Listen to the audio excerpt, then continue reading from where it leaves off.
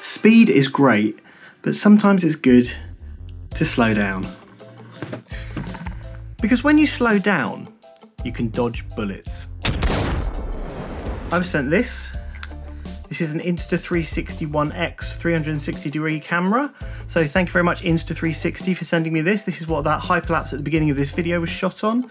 I shall talk a little bit more about this later on in the video, but it can do a thing called bullet time, where you attach a bit of string and you spin it round your head and it takes a very high frame rate video and you can reconfigure it afterwards to point at you as it's spinning around and it looks like that bit in the Matrix where Neo is being shot at by an agent and he sort of bends backwards and he dodges all the bullets. Of course, the Wachowskis didn't shoot that scene like that. Keanu Reeves wasn't spinning a camera around his own head. They used a clever rig of Canon cameras positioned at intervals all around him and all set off to go one after the other in quick succession uh, each becoming one frame of the film. And The Matrix came out in 1999, and I remember it clearly. I was at college at the time, and I remember being in the dark room and talking to someone about the cinematography in it um, while we were developing our shots. And this made me think because The Matrix coming out in 1999 was shot on film, as all films were then. And of course, the cameras all around the big rig that they invented were also film cameras. They were Canon EOS 5s or A2s, they would have been because they're in America, they have different names. And I've got one here. I picked this one up on eBay for £39. And what's great about the EOS 5 is that it's a film camera, uh, but it can take EF lenses, it's got autofocus, it's got all your usual settings, program, TV, AV, manual mode. You can even set your ISO. I mean, obviously, the film will have an ISO rating, but you can push or pull the film that way. It's got, you know, your usual focus points you select in there. You don't even need to wind the film on or anything like that. You just put the film in, it automatically loads it into the camera, automatically advances each frame as you're shooting, and then when the film gets to the end, it automatically winds it back, and you can take the little canister out and send it off to get developed. There are a load of great film photography channels out there on YouTube. There's Matt Day, his channel's really good. Negative Feedback, that's another good one. Uh, Willem Verbeeck is really worth checking out. His channel is uh, very high quality and he does a lot of showcases of artists and stuff. He's really worth subscribing to. Go check him out.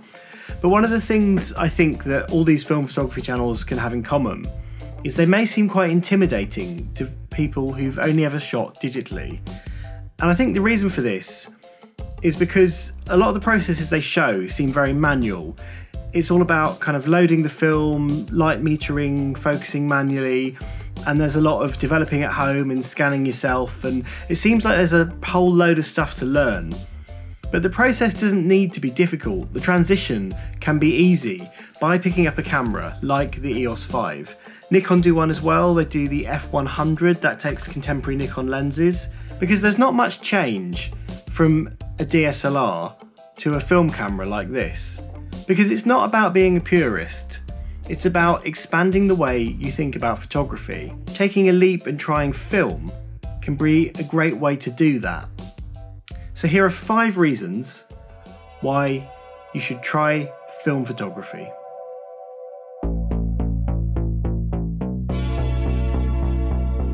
So reason number one, let's start with the most obvious, you get the quality of film. And as good as my film emulation presets are, and they are pretty good, link in the description, they'll never be as good as actual film.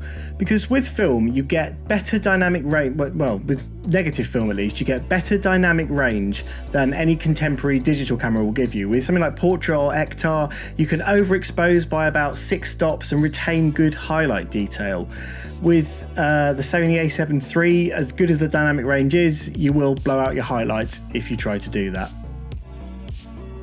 Reason number two, you are forced to think about your composition a lot more before you take the shot. You've only got a certain number of goes to get it right, and every click costs money.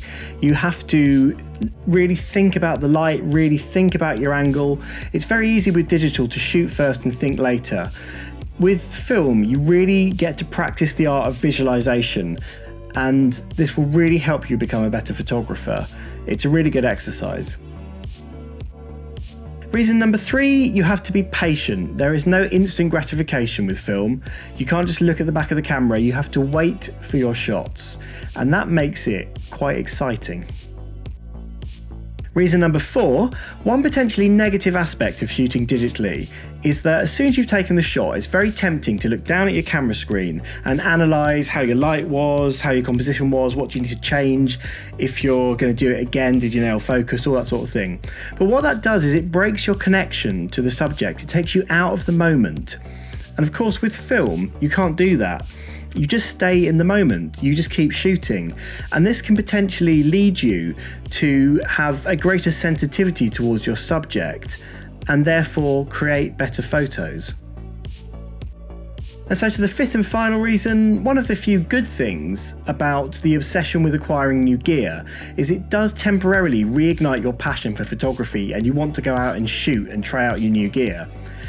But this can be an expensive pursuit, especially when new cameras come out at two and a half thousand pounds. So picking up a cheap camera body for 39 quid is actually a very cheap way to get yourself in that zone and get out and shoot and try something new and be excited again. Now, this is not about film versus digital. Use whatever works for you and don't worry about what other people are doing. There are great photographers out there who shoot on film, and there are great photographers out there who shoot on digital. This is about challenging yourself and moving out of your comfort zone a bit. You'll learn something, trust me. So coming back to the Insta360 One X, I'm not going to do a great big technical review on it. There's loads of videos already on YouTube. Philip Bloom did a very good, very in-depth one. Go check that one out. But what I will say about it is on the bad side, the battery doesn't last very long. Uh, it runs out pretty quick.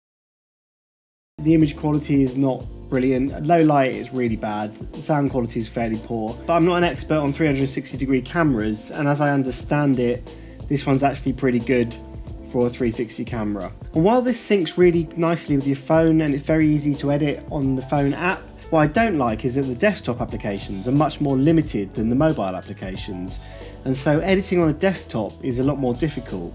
But on the plus side, the stabilization this thing is capable of is amazing.